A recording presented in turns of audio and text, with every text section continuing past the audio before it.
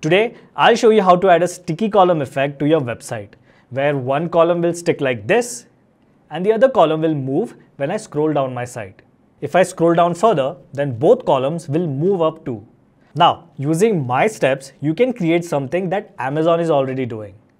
Or create a variation like this and customize it by adding videos, images and buttons to your columns. Lots of possibilities here. So let's get started. So first, once you're in the editor, you'll see this folder icon. Click on it to open the template library. I'll use this one. Alright, we have the containers. Let me just add a few more things. I'll add an image widget from the widget panel. And from the left, I'll upload a photo like this.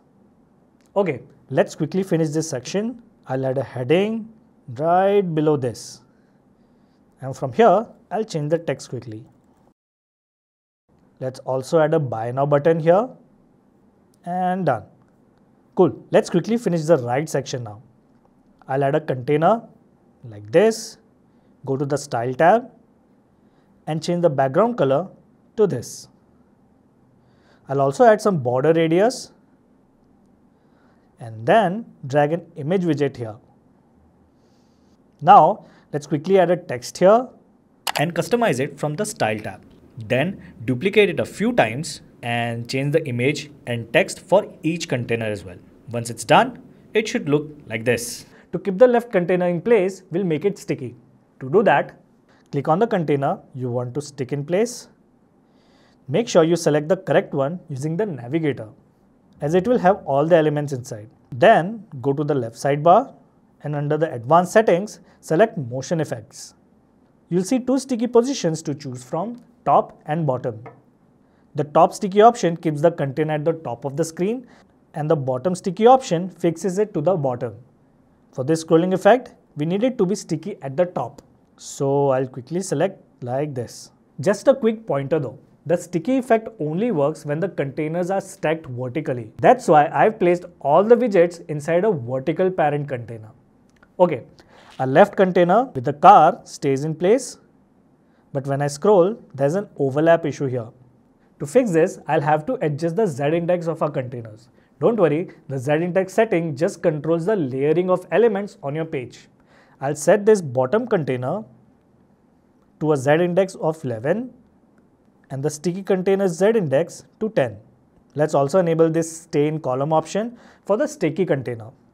This will make sure the bottom container appears on top when they overlap. Just make sure to set the higher z-index to the element you want to appear on top. Let's update the page from here and preview it by clicking here. Okay, I've got the photo of the car and the buy now button on the left and I can scroll on the right to see all the specifications of the car. But I just need to check one thing though. Let's see how it looks on mobile devices. But before that, whenever I'm doing some design work for clients, I make sure to install this free plugin Airlift because, okay, let me actually show you this. So that's my site speed before and that's after. It does a lot of optimizations automatically and keeps stuff fast.